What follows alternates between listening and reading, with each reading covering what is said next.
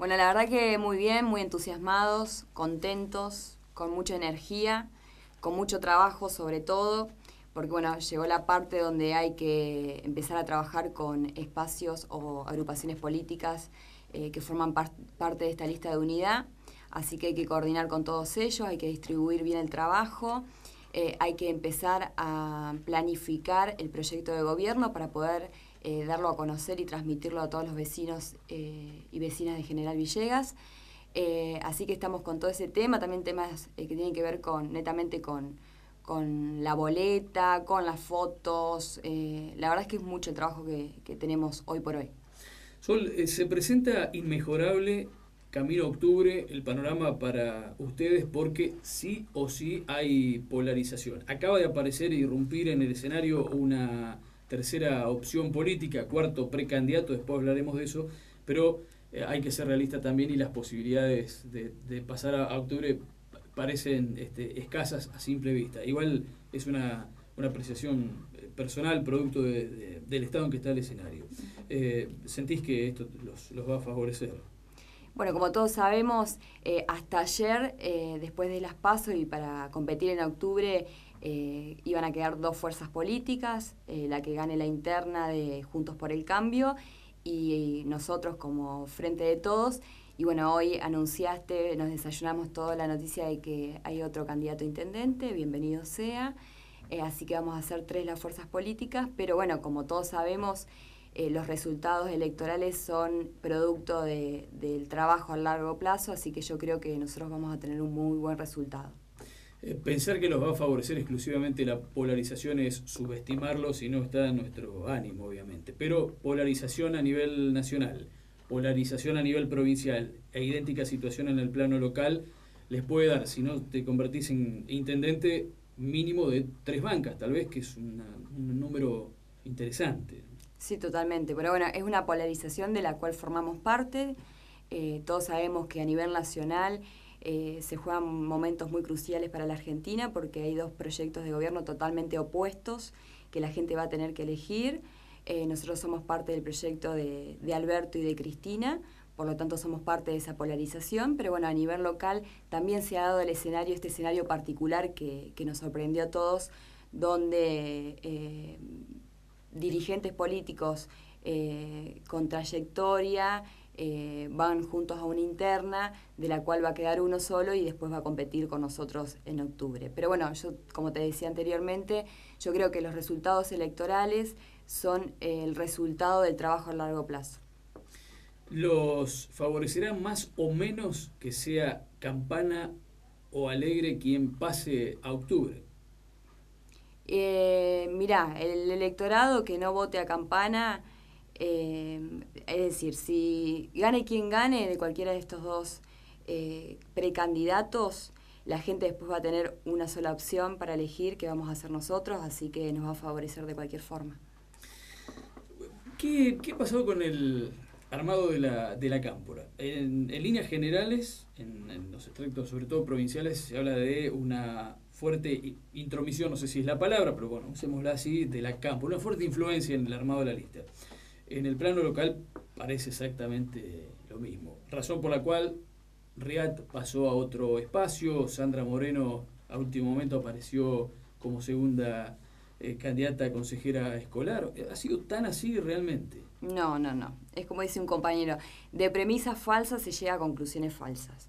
La Cámpora no ha impuesto eh, a ningún precandidato ni ha impuesto ningún lugar en particular. Eh, tanto a nivel nacional, provincial como local, aquellos compañeros que, como me toca a mí hoy encabezar eh, la precandidatura, son compañeros o personas que hace mucho que vienen trabajando, mucho tiempo, que le dedican tiempo a la política, que se han formado para eso y que el lugar que hoy están ocupando es un lugar que se lo han ganado de forma meritoria. Eh, como vos sabés, Fernando, nosotros hace años que estamos trabajando acá en General Villegas, empezamos con un trabajo de hormiga, un trabajo netamente territorial y bueno, empezamos a participar de a poco en las elecciones. En el 2015 no tuvimos la posibilidad de participar, pero aún así eh, seguimos militando y bueno, ese es el resultado de nuestro trabajo, hoy encabezar eh, esta lista. Además, por otro lado, la lista que, encabeza, que encabezo yo eh, que soy la presidenta del PJ y que soy también la presidenta del bloque de Unidad Ciudadana, o sea, no solamente la Cámpora, sino que también eh, formo parte eh, y soy la representación del PJ de General Villegas. Es una lista a la cual, en la cual forman parte un montón de agrupaciones políticas. Tenemos a Nuevo Encuentro, tenemos a Peronismo Militante, tenemos a Movimiento San Martín, tenemos al espacio del Frente Pedro Satranio, tenemos otros compañeros que vienen de, por ejemplo, Movimiento Evita. O sea que es una lista eh, muy amplia, diversa, con distintos compañeros de distintas agrupaciones, eh, una lista que ha logrado generar un equilibrio y una representación sólida para el espacio kirchnerista. Así que la, verdad es que, lamento mucho y me duele como militante eh, del espacio peronista y también kirchnerista que algunos compañeros utilicen este discurso, que es solamente un discurso de la oposición y totalmente mediático, para dañar a otros compañeros, como es mi caso, donde bien ellos saben que nosotros venimos trabajando hace mucho y que no hemos impuesto absolutamente nada, que el lugar que hoy tenemos es porque no, nos lo hemos ganado y creo que la gente de eso lo sabe. en ese sentido, le, pongo nombre y apellido porque fuimos nosotros quienes lo, lo entrevistamos, Alejandro Balvin del Partido Comunista Congreso Extraordinario, que si bien milita dentro de las filas del kirchnerismo, no es kirchnerismo puro y hizo referencia a esto que acabas de decir puntualmente. De hecho, no está, no integra la lista en esta oportunidad como sí en la anterior. Mm. Sí, no, mira, te digo, la verdad es que habla mal de una persona que sale a ventilar problemas internos de un partido, de una lista a los medios de comunicación. Yo creo que siempre hay lugar para, para escuchar esos problemas y plantearlos. Y en el caso de que una persona o un militante no esté conforme con una lista o con la representación de la lista, sabe muy bien que tiene que trabajar para que en las próximas elecciones ganar un lugar más preponderante o tener una representación más legítima. Eh, es como los problemas familiares de una casa, uno no sale a los medios de comunicación o al público en general a plantearlos, lo plantea dentro de su grupo familiar. Me parece que esa es una de las reglas básicas también de la política, de la cual un montón de, compañeros o responsables políticos eh, deberían aprender. ¿A qué se debió su exclusión de la lista? No, en realidad no hubo ninguna exclusión porque nunca estuvo de alguna manera. Eh, nosotros eh, teníamos, eh, tenemos en realidad un interlocutor, alguien que, que colaboró con, con, todos en armar las listas, que es el compañero Joaquín Labarta, al cual vos entrevistaste hace no mucho tiempo atrás. Bueno, él se encargó de, de reunirse con todos los espacios, de llamarlos, de juntarse. También lo hizo con el espacio de Alejandro Balbi. Eh, se juntó, lo escuchó, eh, después se transmitió qué era lo, que nosotros teníamos para ofrecer dentro de esta gran lista de unidad y bueno, no hubo acuerdo, eh, tampoco hubo interés de la parte de, ese espacio porque todos sabíamos que la fecha en la que cerraban las listas y bueno, podés llamar un día antes, el mismo día de presentación de los poderes o de los avales que sabes que, estás que están todos los candidatos en Buenos Aires presentándolos para que te para que te agreguen a la lista, digamos. O sea, eh, creo que demostró falta de interés desde su lugar. Pero bueno, eh, todavía nos queda tiempo. Eh, él se puede sumar a militar esta campaña, es bienvenido, nadie tiene ningún problema con él, siempre lo respetamos, siempre respetamos también la organización o el partido que forma parte. así que bueno, si no es en estas elecciones, puede ser en las que viene, digamos, va a tener que trabajar para ganarse el lugar que pretende, claramente. Lo último, antes de, hablar directamente de la plataforma que, con la que van a aparecer en estas elecciones, que no es ni más ni menos que con la que vienen trabajando desde hace algún tiempo. Eh, la Barta, que fue el armador, en esa nota a la que referías, habló bien de, de, Alegre, de no haber dado este salto eh, al pichetismo por un lado y luego, bueno, en consecuencia al macrismo. al macrismo, totalmente, sí. Al macrismo. Eh, podrían haber habido una lista de de unidad absoluta en todas las expresiones peronistas, más o menos peronistas. Mm. Sí, yo lo vengo manifestando públicamente, a vos también creo que te lo dije. Nosotros, eh, eh, o sea, nuestro objetivo y la directiva del partido era armar una lista unida, una lista donde estén adentro todos los peronistas. Teníamos las puertas del espacio totalmente abierto para todos siempre y cuando eh, los candidatos se encolumnen detrás de la figura de, Alberto Fernández y Cristina Fernández. Con todas esas personas podíamos llegar a tener una lista de unidad, pero bueno, Gilberto nunca optó por esa opción, nunca se encolumnó detrás de este, del espacio, de nuestro espacio político. Al contrario, se cambió de bando, se fue, eh, bueno, hoy eh, está dentro de Juntos por el Cambio, va junto con Macri, o sea, apoya este proyecto de gobierno y esta gestión que es la de Macri.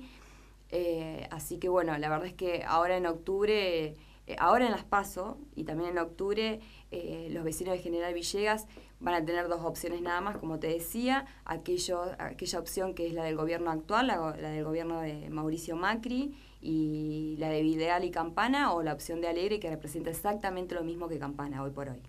Visualmente es raro ver la figura de Alegre, primero, con las letras tan características de, de Cambiemos, hoy Juntos por el Cambio, y sobre todo con los colores de, de Cambiemos. Pero bueno, es parte de la realidad y es algo que ya sucede. ¿no? Sí, no, aparte evidentemente tiene más coincidencias con, Mauricio Macri, con Vidal y seguramente que con, Campana que con nosotros, ¿no? Claramente por eso está en ese lugar, así que bueno, está bien que se sincere. Eh, ¿Con Riat ha sucedido lo mismo? Sí, totalmente, sí, sí, sí. Eh, la verdad es que bueno, que ella eh, pretendía ser precandidata por el espacio del Frente de Todos, eh, después decidió y lo manifestó que coincidía mucho más con el proyecto de Gilberto Alegre que con el proyecto que nosotros hoy representamos, así que nos parece bien que, sea sincera, que esté en el lugar que ella desea estar, eh, acompañando las ideas que ella cree que son mejor, en este caso acompañando el proyecto de Mauricio Macri. La verdad es que para algunos... Eh, que acompaña Alegre, que lo de ella es una cuestión, una militancia local. Sí, no, pero todos sabemos, todos los referentes, responsables y militantes sabemos que cuando trabajamos para un espacio político, trabajamos para todos los precandidatos de ese espacio político y para el gobierno o proyecto de gobierno de ese espacio político. Así que está más que claro que, la doctora Riad acompaña eh, y sostiene el proyecto de, Macri, de Vidal y de Alegre, en este caso. cierro con, en referencia a esta expresión. Eh, digamos, está focalizada en la figura de Riad porque es quien protagonizó este, este cambio, este salto, este pase. Ella insistió, inclusive fue título de distrito interior, eso no quiere decir que es excluyente, obviamente, eh, que cambió de camiseta, pero no de esencia. Mira, esto no es un partido de fútbol, digamos. Acá, o sea, nosotros estamos militando para proyectos de gobierno que definen si la gente come o no, digamos, si la gente tiene trabajo o no no es tan sencillo como decir eh, que, no, que me cambio de camiseta pero no de ideales. O sea, eso es una falacia también. Todos sabemos que si estás con, con Gilberto, estás con Macri. Entonces no nos puedes decir que después vas a votar a Axel. O sea, no tiene, es una contradicción pura y llana. Digamos, si me parece que, está un poco confundida y que, que no ha entendido a lo largo de todos estos años de qué se trata la política y tampoco ha entendido que la política y los proyectos y espacios políticos son herramientas que transforman la calidad de vida de la gente y que hay que tomarlas con seriedad. Eh, y bueno, evidentemente eso ella no la, no la ha entendido, pero por otro lado también sostiene un gobierno que, por ejemplo, eliminó el Ministerio de Salud, siendo que, bueno, que la escuchamos acá, que ella tenía ambiciones laborales, no políticas, dijo en algún momento, y que, bueno, que quería trabajar y mejorar el área de salud, pero está apoyando a un gobierno que eliminó el Ministerio de Salud, así que es totalmente contradictorio.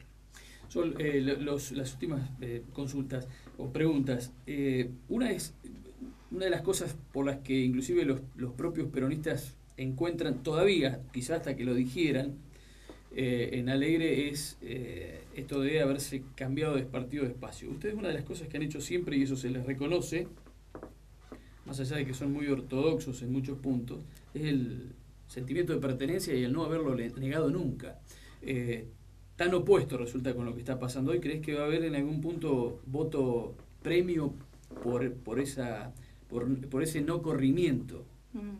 No creo que sea un voto premio, creo que, van a valorar que seamos sinceros eh, y que acompañemos siempre las mismas ideas, los mismos proyectos de gobierno y que más allá de los momentos buenos y malos estemos siempre ahí.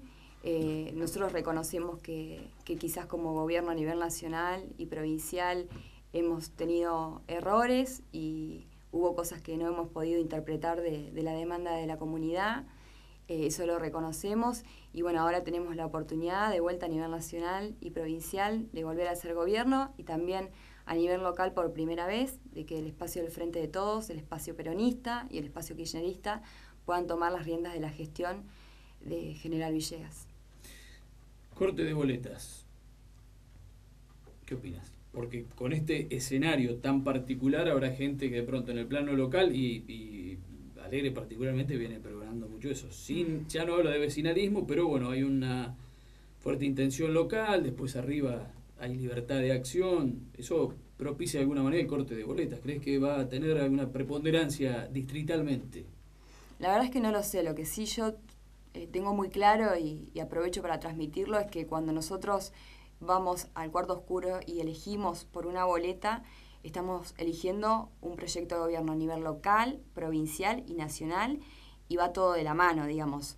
Eh, no, si uno elige a nivel local un, precandidato y a nivel nacional eh, elige otro precandidato, eh, es una situación que la verdad que no tiene una buena lectura, más allá de que es totalmente válida, porque nosotros no podemos pensar un Villegas sin una nación y sin una provincia. Entonces está bueno que cuando nosotros elegimos por un espacio político podamos elegir la boleta completa porque estamos eligiendo un Villegas dentro de una provincia y dentro de un país con un mismo proyecto de gobierno, con un mismo proyecto eh, económico. Entonces es muy importante eh, tener claro eso, más allá de que es totalmente válido que cada uno vote en cada estamento el precandidato que más le guste. Pero bueno, esto no tiene que ver con una sola persona ni con el precandidato que encabeza la boleta, sino con el proyecto de país que queremos. Lo, lo, una de las, de las últimas ya bueno, comienza la hora de hablar de campaña. Primero, ¿cuándo será la presentación formal y a partir de ello, dónde estará puesto el énfasis de esta campaña de la lista que encabeza Sol Fernández? Mm. Todavía no tenemos fecha para la presentación de la lista. Eh, estamos eh, buscando eh, un lugar, un local, porque bueno, nosotros tenemos unidad básica, la misma de siempre, de hace muchos años. Eh, pero la verdad es que nos ha quedado chico eh, ese lugar, así que necesitamos otro lugar que lo complemente y hasta que no definamos eso no, no vamos a tener fecha. Además también queremos que venga algún precandidato a diputado, provincial o nacional eh, que nos pueda acompañar, así que hay que coordinar la fecha con ellos. Y ahora estamos trabajando en nuestra plataforma política, queremos una plataforma política sólida que pueda persuadir a los vecinos de que nuestra propuesta es la mejor propuesta y que nos puedan permitir eh, la voluntad popular del Partido General Villegas ser gobierno a partir del 10 de diciembre de este año. Muchas de esas cosas que conformarán la plataforma tendrán que ver con lo que vienen trabajando, le irán a sumar algunas otras que van apareciendo producto de la demanda de la gente, esa que hace unos minutos dijiste no hemos sabido interpretar del todo en algún momento. Sí, por supuesto. Eh, pero te lo decía más que nada a nivel nacional, nosotros nunca tuvimos todavía la oportunidad de ser gobierno a nivel local. Eh, sí somos concejales y abordamos un montón de problemáticas. Nosotros creo que, nos hemos caracterizado por, eh, dentro de nuestra tarea legislativa y también territorial, en, en, preocuparnos mucho por lo que es el medio ambiente.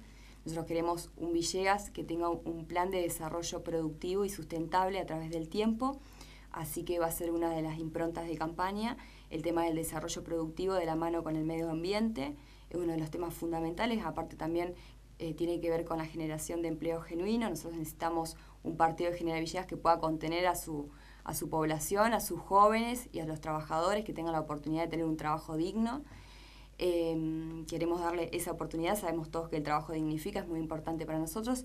Y también eh, este desarrollo productivo de la mano del medio ambiente con la generación de empleo tiene que tener una articulación directa con la oferta académica que tenemos a nivel eh, local, es decir, eh, las carreras que, hoy se dan en el Partido General Villegas, eh, terciarias o superiores a distancia, tienen que ver también con el plan productivo que tenga el gobierno para que esos chicos que, que están estudiando y que se van a recibir tengan luego un trabajo acá en el partido. No se olvide el tema de viviendas, que es... Bueno, el tema de más importante. Sí, totalmente.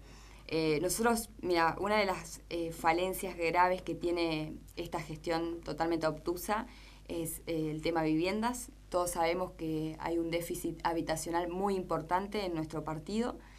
Y bueno, eh, Campana prometió 100 viviendas por año, esto siempre lo remarcamos, y la verdad que no ha construido ni una sola vivienda dentro de un plan de viviendas, un plan social, eh, y cada vez vemos más personas que, que, viven en situaciones de precariedad terribles, que viven en galpones de chapa, eh, personas que tienen que mudarse con su familia porque ni siquiera pueden pagar un alquiler porque debido al impacto inflacionario también los alquileres han subido hasta por las nubes y, el sueldo no permite pagarlos. Entonces, la verdad es que es una deuda pendiente de, este gobierno. Nosotros queremos encarar eh, el tema de viviendas, creemos que es posible. Eh, creemos que, con el presupuesto que tiene el partido de General Villegas, el presupuesto de, recursos, o sea, el dinero que cuenta General Villegas, puede empezar a implementar un, un plan social y también darles las posibilidades por ahí a la clase media, a que pueda tener alguna línea crediticia para hacer su propia vivienda y que no solamente sea un plan social, o sea, un plan para de emergencia. Después también creemos que el Partido de General Villegas debería o podría tener una salud de calidad, que también es una de las falencias de esta gestión, a pesar de que el intendente es médico, eh, la salud no solamente del hospital municipal, sino también de los pueblos se ha deteriorado mucho no solamente por la falta de profesionales, sino porque los profesionales que están se van, no sabemos por qué. Eh, en los pueblos este problema eh, resalta mucho, es muy importante, hay pueblos que no tienen médico, que no tienen pediatras, que no tienen odontólogos, digamos, hay muchas problemáticas en cuanto a eso. Y después la obra pública también, hay que incentivar la obra pública y hay que, el intendente es el que tiene que decidir cuál es la obra pública que se va a realizar eh, en su municipio y no la gobernadora como está pasando ahora desde que asumió Campana hasta ahora, se terminó el correo, se terminó el museo, se hizo la, la bicicenda, pero son todas obras que decidió la gobernadora a través de un pacto fiscal que se firmó hace dos años atrás y por el cual le quita la autonomía al intendente y al municipio para decidir sus propias obras de gobierno. Eso nosotros no lo vamos a permitir. No estamos de acuerdo. Yo creo que el intendente es el único que conoce las prioridades de su distrito y es quien debe decidir qué es lo que se va a hacer.